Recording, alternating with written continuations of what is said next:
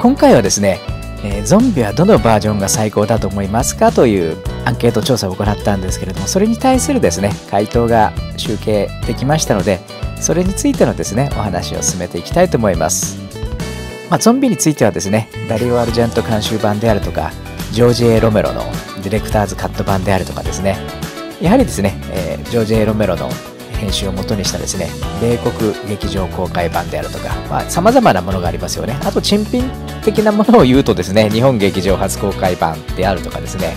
テレビで放映されたですねサスペリア版というねあの音楽がサスペリアに置き換えられているような作品というのもあったわけですけどもまあいろいろとですねゾンビの場合というのはこういろいろなですねバージョンがたくさんあるわけですよね。そこでですね当然あの好みというものもねいろいろとこう人によって違ってくるということなんですけれども、まあ、どちらがいいでしょうかというようなことでですね、まあ、いくつかの選択肢でですねアンケート調査を実施させていただいたんですけれども、まあ、案の定というかですね、まあ、こちらですねアルジェント研究会で行うということになるとですねやはりダリオ・アルジェントのファンの方が、大多数を占めていると思いますので、まあ、結果としてはですねあえー、ダリオ・アルジェント監修版の人気が一番であるというふうに、まあ、結果付けられたんですよね。ということで、ちょっと答えといいますかね、あの、集計結果を見ていきたいと思うんですけれども、まずですね、ダリオ・アルジェント監修版に決まってるという形でですね、ダリオ・アルジェント監修版を一押しにされた方がですね、51%ということになります。え、それに対してですね、ディレクターズカット版ですね、こちらはジョージ・エロメロの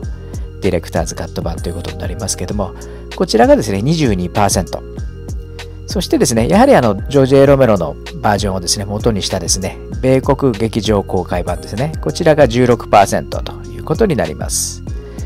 そしてですね、日本劇場初公開版、こちらはあの、ダリオ・アルジェント監修版を元にしてですね、日本独自の、えー、いろいろとですね、編集が施されたバージョンなんですけれども、こちらが3%ということで、まああんまり多くないですよね。えー、ということになります。そしてですね、それ以外ということで7%ということでコメント欄にいただいております。という形からするとですね、えー、基本的にアルジェント研究会のリスナーの方はですね、まあ、半分程度ですね、半分程度がダリオ・アルジェント監修版を一押しにされているということですね。まあ、こちらを多いと見るか少ないと見るかというのはちょっと微妙なところなんですよね。むしろアルジェント研究会ですからね、あの、まあ、大多数がですね、ダリオ・アルジェント監修版を一押しにされるというのではないかという考え方もありますよね。それに対してですね、まあ、むしろロメロ版の方が多いのかなという感触もありえますよね。ディレクターズカット版22%で、米国劇場公開版が16%ということからするとですね、えー、38%ですかね、38%、まあ4割近くはですね、えー、ロメロ版を一押しという形にしてますので、えー、まあ、なんとも言えない感じですよね。なのでですね、まあ、それほどあのダリオ・アルジェント監修版に変してるわけではないのかなという感じがしますよね。まあ、もっともですね、このどちらがいいかというのは、まあ、作品の完成度というよりもですね、最初に見たバージョンの刷り込みですよね。そちらが一番大きいなという感じがします。したがってですね、えー、この日本劇場初公開版ですよね。まあ、劇場で初めて、えー、のゾンビをご覧になったですね、ファンの方はですね、むしろダリオ・アルジェント監修版が一押しでですね、その後でですよね、劇場公開が終わってですね、えビデオなりですね、レーザーディスクなりですね、その他のあの DVD ですよねそそ。そういった形でですね、まあ、劇場公開以外のもので見た場合ですね、もともとですね、まあ、日本で、制作あの発売されたですね、VHS ですね、こちらはあのダリオ・アルジェント監修版ではなくてですね、ジョージ・エロメロのね、北米版を中心にしたものをですね、北米版がこう、日本で発売されてますので、まあ音楽もかなり異なっているので、まあそちらを見て感動された方といいますかね、という方からするとですね、むしろこう、ダリオ・アルジェント監修版というのが異質に見えるというかね、音楽がうるさいとかですね、あの、いうことでですね、まあ違うものに見えますしですね、むしろこの劇場で初めて見たファンにとってはですね、このゴブリンの音楽がですね、あるのが当然であってですね、このビデオで初めて見るとですね、なんかこうね、あの、音楽が全然違うんで、なんじゃこりゃっていう感じになるのかなという感じがしますよね。えー、ということで、まあ、どちらが優れてるというのはね、なかなか言いにくいところではあるかなと思います。そんな中でですね、やはりこう、刷り込みというものとですね、まあ、あの、監督の思いですよね。まあ、そんなことを加味してですね、どんなものなのかなということで、まあ、考えていく必要があるのかなと思います。まあ、日本劇場初公開版っていうのは、こう、やはりね、ゴブリンのね、音楽がガンガン鳴る中でですね、まあ、日本独自のね、静止画像だとかですね、最初の冒頭のテロップだとかですね、そんなところが、あの、付加されてますので、まあ、どちらかというと珍品なのかなと思いますけれども、まあ、ただですね、あの、日本で劇場で初めて見たバージョンというのはこれになりますので、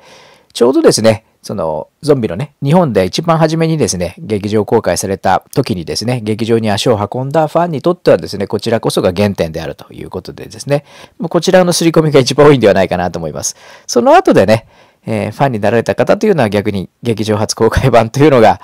少しね、違和感と言いますかね、なんじゃこりゃって感じになるのかもしれませんけどね。まあそんな初めて見たものがやはりね、刷り込みが大きいかなということになるかと思います。はい。ということでですね、あの、まあコメントをですね、寄せられておりますので、まあそちらについて紹介させていただくと同時にですね、ちょっと自分の考え方というかね、まあロメロ版の音楽の考え方とですね、ダリオ・アルジェント監修版のですね、ゴブリンの音楽の使い方ですね、まあこちらについてですね、最後にですね、まあ、どちらが優れてるというよりも、あの、一つのね、考え方というものをご紹介させていただきたいと思います。はい。えっ、ー、と、それではですね、コメントいただいてますので、まあ、こちらについてですね、ご紹介をさせていただきたいと思います。えー、まずですね、えー、高彦箕浦さんですけれども、えー、日本公開時に試写会で見たのが初見なのですが、その時、映写されたのが日本初公開版の無修正バージョンでして、冒頭の惑星爆発のシーンありのアルジェント版ということですかね。まだ子供でしたので衝撃の体験でした。なので、やはりアルジェント版が好きですというコメントをいただいています。やはりですね、この時ですから、あの、私もこの一番最初ですね、え、日本初公開版というのは、あの、ちょうどですね、どこで見たかというとですね、私は一番最初に見たのが、えー、東京の有楽町のですね、有楽座という劇場がありましてですね、そこの今とは場所が違うんですけどね、あのかなり大きなね、映画館でしたけれども、そちらで見たのが一番最初でですね、やはりダリオ・アルジェント監督ということに騙されてですね、行ったわけですね。えー、いうことで、まあ、ジョージ・エロメロという名前がね、全然出てこなかったというような、画面上に出てなくてですね、えー、ダリオ・アルジェントという、まあ、監督名も出てなかったんで、一体これはどうしたことかと思ったわけですけれども、やはりですね、あの SF として封切られてるというかね、そんな形で冒頭にですね、惑星の爆発シーンがあってですね、その特殊光線によってゾンビが蘇ると言いますかね、あの死者が蘇ったという、まあ、設定でですね、あの面白おかしく、まあ、宣伝されてたわけですけども、それをですね、見た覚えがありますけどね、その思いが一番大きいですよね。まあ音楽もね、やたらこうアクションのね、扱いでですね、まあ、派手な音楽ですよね。そういう形でですね、あの初めて見ましたので、あのこのですね、気持ちというのはよくわかりますよね。衝撃の体験といえば衝撃の体験でしたよね。ということで、やはりね、私もアルジェント版、あの、すり込みが多いので、アルジェント版が好きだということにはなりますよね。はい。えー、ということでですね。で、次がですね、チャンネルモルティビベンティさんですけどね。こちらはですね、初公開世代としては、今日はゾンビ見ようという時に手が伸びるのはまずアルジェント版なんだが、なんだかんだで結局 US 版と DC 版ですね、ディレクターズカット版も見てしまうのであった。しゃあないというね、え、コメントいただいてますけど、やはりですね、初公開世代ということですよね。そうなるとやはりこう、アルジェント版というのがね、どうしてもこう、刷り込みでですね、こう、体に染みついてるっていう感じだと思いますけどね。まあ、あの、ただですね、あの、US 版とディレクターズカット版ということでですね、まあ、違うアプローチをしてますので、まあ、こちらもね、どちらがいいかとも、何とも言えないような形なんでしょうかね。ということになりますよね。はい。えー、ということですね。で、次がですね、宮城のトーマスさんですけれども、サスプリア版、えー、テレビ東京で初めて放送されたバージョンです。ということです。で、ゴアシーンが少なく、娯楽性重視の内容で、ゾンビのライト層や初心者が見やすいバージョンです。というコメントをいただいてますけども、まさにですね、最初に、えー、テレビ東京でね、初めて放送されたバージョン、これも私一番最初にですね、テレビであのワクワクしてですね、準備してたんですね。その頃ですね、うちには、えっ、ー、と、あれでしたかね、あの、VHS と言いますかね、ビデオのデッキがなかったので、録音ですね、音だけね、あの、要するにカセットテープレコーダー、テレコというのがあったんで、あの、音だけをね、録音して、こう、記念にしようと思ってたんですけど、で、実際音楽をね、えー、録音して、カセットテープに録音したんですけどね、まあ、全然これ、あの、音楽がね、ゴブリン、まあゴブリンなんですけど、サスペリアの音楽が入っててですね、オリジナルの音楽が使われてないんで、こう、びっくりした覚えがありましたよね。そんなことがありましてですね、やはりね、このバージョンも捨てがたい感じですよね。まあ、音楽が全然違ってですね、こうサスペリアのあの有名なね、あのテーマ曲というのはさすがにこうバレますので使われてないんですけれども、えー、とちょうどですね、サントラ版のサスペリアのいろんな曲ありますよね。そんなところがね、使われていてですね、なかなかね、こっちも、まあ、こう、苦心の作といいますかね、同じゴブリンということで、えー、苦心の作だったと思うんですけどね。まあ、確かにね、あの、テレビ放映ということで、ゴアシーンはね、あんまりこう、テレビでは放映できないということですので、あの、ゴアシーンを少なくしてですね、娯楽性重視の作品になっていたと。むしろ何て言うんでしょうかね、あの、ホラーというよりも SF ですよね、こちらはね。SF でこう、死者が蘇るという、まあ、ホラーというよりもこうな、なんかこう、近未来のね、えー、雰囲気なので、まさにね、SF クション巨編みたいな感じでですね、こちら作られているといいますかね、まあ、編集されていてですね、まあ、こちらもテレビで放映されてですね、ファンが増えたんではないかなと思いますね。最初のちょっとサスペリア版というのがね、少しこう雰囲気としては違和感はなかったわけではないんですけどね、まあ、ライトソードやるとかね、初心者にとってはですね、こうあんまりゴアではなくね、少し面白い感じのね、作品だったですよね。えー、いうことですね。まあ、テレビについてはですね、まあ、いろいろと深澤哲也さんの解説だとかですね、まあ、いろいろと異論とかね、吹き替えもだいぶですね、あの、元々のオリジナルとは違ったね、えー、翻訳になっていたりということで、まあ、そういうあの賛否両論はあるんですけれども、まあ、それは置いといてですね、まあ、ゾンビがね、えー、地上波でね、放映されたということは、その当時のね、雰囲気をこう、いい時代だったななんて思いますね。はい。えー、ということですね。で、次ですね、えー、っと、あの、山崎さんですけれども、えー、っと、アルジャント版ですと、娯楽作品として揺るぎない作品になっていますというコメントいただいてます。えこちらもですね、やはりアルジャント版というのは非常に娯楽作品といいますかね、こう、アクション重視でですね、音楽も派手でですね、まさにね、あの、本当にこう、心が躍るといいますかね、娯楽作という感じですね。まあ、ドキュメン、あの、ロメロの方がね、どちらかというと、こう、ライブラリーの音楽音源を使ったですね、えー、少しドキュメンタリータッチを強調したような作品になってるに対してですね、まさにね、こうね、スワットがこう、アパートに突入していくシーンとかですね、そんなところはですね、まあ、手に汗を握るような音楽がつけられていてですね、まあ、アルジェント版もね、小気味よく編集がされてますので、まあ、娯楽作品としてですね、逆に言うとこう手軽に見られると言いますかね、そんなような作品になっていると、娯楽色を強調した作品になっているということからするとね、こちらのアルジェント版というのがオスというのもね、すごく理解されるというところですよね。はい。はい、えっ、ー、と、次にですね、えー、カポで、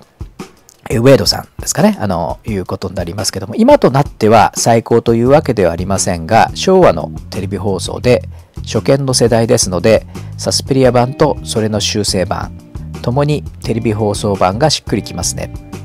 任しときってありますね。えっと、こちらはですね、やはりあのテレビに入ってからご覧になられたファンの方ということになるとですね、やっぱりサスペリア版ですよね。一番最初にテレビ東京で、えー、かかったサスペリア版と、あとは修正版ということですね。あの、ゾンビはですね、何度かテレビ、地上波でも放送されてるわけですけども、サスペリア版がかかった後でですね、もう一度、えーね、あのテレビのね、洋画劇場でかかってるんですけども、その時はですね、音楽があの元に戻っているというかですね、そういったことからするとですね、ですねあのテレビ放映版ということからする、あのテレビ放映版ですね、こちらの方がしっくりするというような形になりますよね、ということですね。はい、えーと、次に行きたいと思います。次はですね、えー、ゾンビ太郎さんですね。えー、私はゾンビをきちんとした形で見たのが、レンタルショップで借りた米国劇場版でしたが、その後のリバイバル上映などで見たディレクターズカット版とアルジェント版を見比べましたら僕はディレクターズカット版が好みでした。ファーストコンタクトが日本劇場版であったなら多分アルジェント版が好みだったかもしれませんねということになってますよね。はい。えー、ということでやはりですね、えー、ゾンビ太郎さんの場合ということで、まあ、この世代になるんでしょうかね。あの、えー、劇場公開が終わってですね、レンタルショップということでビデオがね、たくさん出た時にですね、出たのが日本で発売されたのがですね、米国の劇場版ということで、まあ、こちらをベースにしたね、あのロメロのロメロバージョンがですね、元になってますので、まあ、こちらですよね。そうなってくるとですね、やはりこう、最初の刷り込みがあるゆえにですね、えー、まあ、こちらがしっくりくると言いますかね、まあ、それを原型として見てますのでね、あの、そういう形になるのかなと思います。まあ、それだけではなくてもね、あの、全部見た上でですね、ロメロバージョンの方がこう、きっちりとね、まあ、世界観がですね、ロメロの世界観に合ってるのはやっぱり自分で作ったバージョンだと思いますので、まあ、そちらで、あの、ロメロのね、世界観に共感を覚える、えっ、と、ファンにとってはですね、まあ、ディレクターズカット版が一番いいんではないかなと思いますよね。まあ、こちらもね、あの、すごく理解できると言いますかね、共感できるところかなと思いますね。はい。えー、ということですね。で、あとですね、えー、そんな形で、まあ、あの、さらにね、コメントをご紹介していきたいと思いますが、えー、と、次はですね、おぼかたさんですね。私はダリオ・アルジェント監修版を推薦します。79年3月に日本ヘラルド映画からロードショーされ、それを見に行ったのが最初です。日本劇場初公開版でしたが、これが強烈なインパクトを放ち、後にノーカット版であるダリオ・アルジェント監修版がソフト化され、改めてアルジェントの編集や音楽、音響の的確さに驚きました。ロメロがローレルグループだけで単独で作ったら、あの仕上がりだとおそらくごく一部のマニアックなファンしか知らない作品に埋もれてしまうか、最悪日本未公開だったと思います。唯一の救いは米国版ディレクターズカット版ともゴブリンの音楽を若干採用しているところですということですね。はい。えっ、ー、と、確かにですね、まあ、こんな形で一番最初にですね、ダリオ・アルジェント監修版といいますか、まあ、日本劇場初公開版ですね。まあ、こちらを見た世代にとってはですね、やはり強烈ですよね。で、唯一の作品といいますかね、むしろね、あの、ダリオ・アルジェント監修版でゴブリンがね、あのかなりこう強調されてるバージョンこそですね、ゾンビであってですね、後からね、このロメロ版というのを見ると少しこう、なんつうかね、あの、音楽面で言うとこうね、少しこう、地味なね、印象があるのかななんて感じがしますしですね。まあ、その辺のね、ところと、あの、アルジェントはね、こうやはりこう、娯楽映画を作ることに関してはですね、あの、サスペリアだとかね、サスペリア2なんかもそうですけども、音楽の使い方ですよね。すごくこう、映像とともにですね、音楽非常に強調されてるね、あの、形の映画を作りますので、まあ、たるみのないね、映画を作るのはもう本当にね、すごくまあ、超一流の才能があると思いますので、そういったことからするとですね、えー、ロメロのね、世界観にこう、アルジェントのね、こう音響世界といいますかね、そんなものがこう、加わってですね、まあ、えっ、ー、と、ロメロがね、あの、目指したものではないのかもしれませんけれども、娯楽映画といいますかね、まあ、多くのね、ファンをこう獲得する上ではですね、アルジェントのこの、監修ですよね。まあ、こういったものがね、やはりこう、すごく重要なポイントになったんではないかなと思います。えっ、と、このような書かれてるようにですね、あの、まあ確かにですね、日本においてはですね、えー、ロメロね、ナイト・オブ・ザ・リビング・デッドですよね。まあ、こちら、あの、まあ、すごくね、全世界的には有名な作品ですけれども、日本ではですね、ナイト・オブ・ザ・リビング・デッドというのは、えー、未公開のままね、あの、据え置かれたということで、まあ、ゾンビがあって初めてですね、ナイト・オブ・ザ・リビング・デッドが日の目を見てですね、後になってですね、まあ、公開されることもあったということになるわけですけれども、少なくともですね、ナイト・オブ・ザ・リビング・デッド、がですね、あの、ジョージ・エロメロが作った、まあ、代表作の一本だと思いますけども、まあ、それがですね、日本においてはこう、あの、輸入されずにですね、無視されていて、えー、むしろですね、ゾンビですね、まあ、ダリオ・アルジェント、こう、あの、監修版というですね、ダリオ・アルジェントの頃ね、あの、ネームバリューとですね、まあ、編集といいますかね、監修があって初めてですね、日本で公開されたということから考えるとですね、このアルジェントの功績といいますかね、あの力というのは非常に大きいんではないかなと思いますよね。まあ、むしろですね、ダリオ・アルジェントが絡んでなくてですね、ロメロがですね、この北米版ですよね。それだけしか作られていなかったらと思うとですね、も、ま、万が一も、もしかするとですね、日本でもゾンビというものが見られてなかった可能性というのもね、ありえますよね。これはもう家庭の話になってしまうんでね、それでも公開されたというかね、輸入されたという可能性もなきにしもあらずですけれども、まあ、少なくともね、ビデオで公開された可能性はあるんですけども、まあ劇場で公開されたかどうかというのはね、またちょっと未知数な感じはしますよね。まあ現にですね、ジョージ・エロメロの作品というのは、あの、ゾンビになるまでですね、まあ日本では公開されてなかったわけですから、まあ全くのですね、ゾンビが初めて、日本においてはですね、初めて紹介されたというふうにも言えますので、まあそういった方から、ことからするとですね、やはりこのね、ごく一部のね、マニアックなファンしか知らない、作品になってた可能性があるというのはね、すごく説得力のあるね、コメントだと思いますよね。はい。ということになりますよね。はい。で、えーえー、次はですね、ガイシャ9999さんですかね。えー、アルジェント版ゾンビの映画カタログを母親に捨てられたのを思い出す。あーって書かれてますけど、えっ、ー、と、アルジェント版ゾンビの映画カタログですかね。あの、パンフレットでしょうかね。まあ、こちらがですね、あの、やはりね、私も最初に劇場版、劇場に行った時に買いましたけどね、まあ、あの、なんかね、場合によると、こう、なんかこう、あれですね、エレベーターに出てくるわーっていうところが、こう、薄気味悪いと言いますかね、そんな形になると思うんで、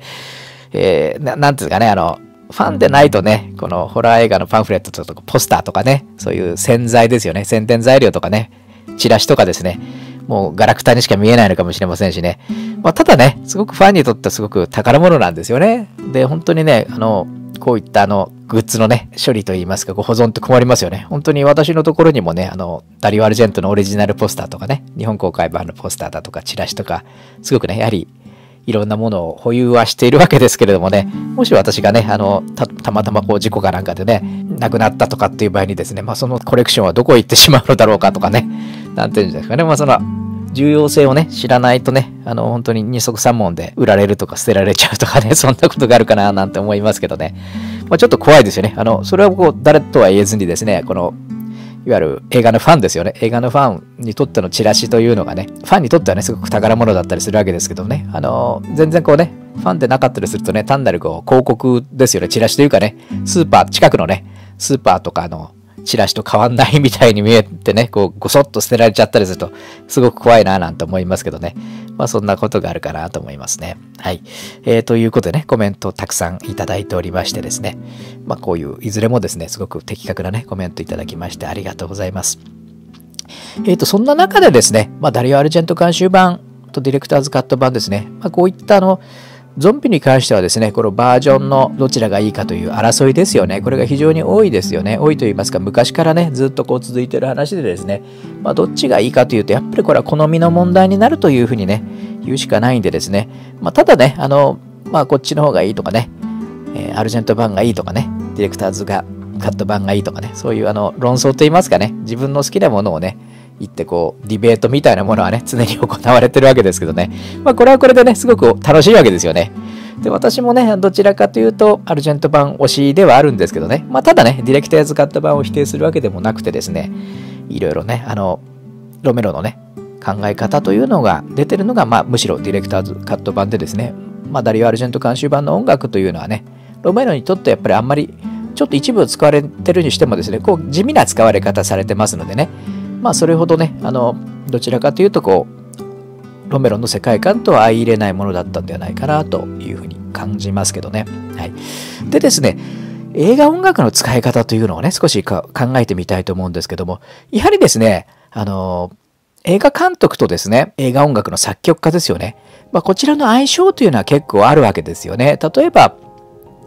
えまあ、あの、ダリオ・アルジェントであればゴブリンですよね。サスペリアパート2、サスペリアですね。そして、まあ、こちらのゾンビの音楽も使ってますですね。その後もですね、シャドウであるとかですね、ずっとこうね、あのゴブリンというのが、ゴブリンとダリオ・アルジェントっていうのはこう、切っても切れない仲というふうに言うことができますよね。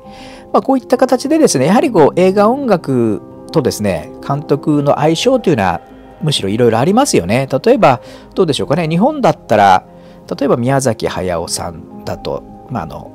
初期の頃といいますかねあのかなりこう血気盛んな頃だとね久石譲さんの曲なんか久石譲のね曲を結構使ってましたしですね、まあ、すごく合うようなね部分ってありましたよね。あとはこうどうでしょうかねあの、まあ、国際的に言えばねジュゼッペ・トルナトーレ監督とですねエンニオ・モリコーネであるとかね、まあ、そういった形でですね映画音楽の作曲家と映画音、えー、と監督ですよね、まあ、こちらがこう非常にこう合うコンビってありますよね。あとはもう例えばブライアン・デ・パルマ監督であればね、こういったピノ・ドナッジオですかね、あの、まあ、キャリーだとかね、ブローアウトですかね、あの、ミッドナイト・クロスとかね、すごくね、やっぱりブライアン・デ・パルマの監督作品にはピノ・ドナッジオのね、どちらかというとこう上調で、上調、上調じゃなくて上饒舌っていうんですかね、こう甘ったるいって言いますかね、そういう曲が合いますしですね、まあ、ゴブリンのこう鋭角的な音というのはダリオ・アルジェントの映画に合うとかですね、あのジュゼッペ・トルナトーレのこうなんですかねあの南イタリアのね広大なこう少しねあまりにもねこうどちらかというとこう田舎といいますかねそういったところの世界観だとこうエンニオ・モリコーネのね、えー、曲が合うみたいなところって当然ありますよね。そんなところでですねまあゴールデンコンビみたいなのは生まれるわけですけれどもそこがうまくいけばいいんですけどもそれも合うかどうかというのがねどうしてもこう監督の方ですよね。ディレクターの方はディレクターで自分の世界観というものがありますしですね。えーと、映画音楽のね、作曲家の方にもですね、やはりこう自分のね、あの言われたままをそのまま 作るわけではなくてですね、まあ、自分の世界観っていうのがあるわけですよね。で、この世界観同士がきっちり合えばいいんですけれども、むしろ合わない場合もあるわけですよね。そこでですね、例えば、えー、エクソシストですよね。エクソシストであれば、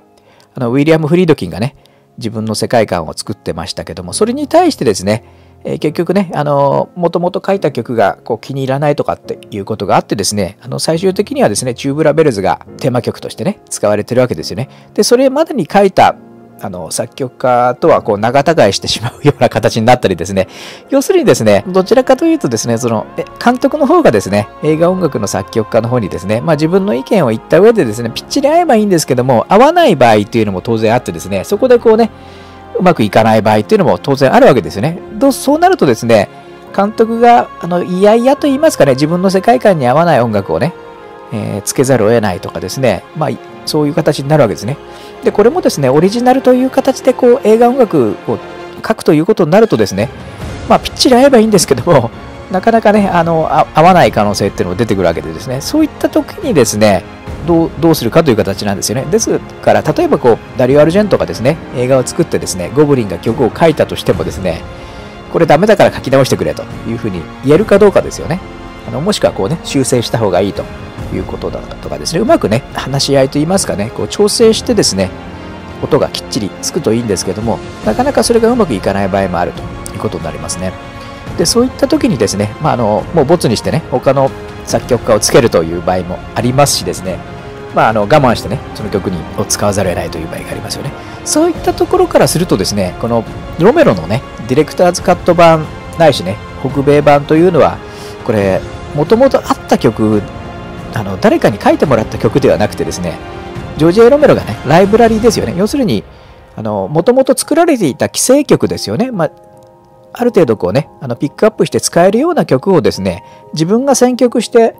映画音楽として使ってるということになりますよね。これが悪いかというとですね、オリジナルでないからこう安っぽいとかね、そういったことかというと決してそうではないと思うんですよね。むしろですね、あのライブラリーの音楽をつくあの使うということはですね、自分でピックアップをするってことができますよね。そうするとですね、むしろですね、どちらかというとこれも性格にもよるんですけどもね、あの、映画音楽のね、作曲家にですね、自分の意見をこう、的確に伝えることができてですね、なおかつね、あの、書き直してもらったり、こう、ダメだったらこう、ボツにするとかね、そういったことがこう、得意な監督であればですね、いいんですけれども、そうでない場合ってありますよね。やはりね、あの、一回作ったらね、こう、なかなか予算の関係とかもありますのでね、そうするとですね、むしろですね、ライブラリの音楽ってこうピックアップできるっていうことからすると、相手にこう、なんていうんですかね、あの、相手のね、あの、心を読むと言いますか、相手に対してこう遠慮する必要はないんですよね。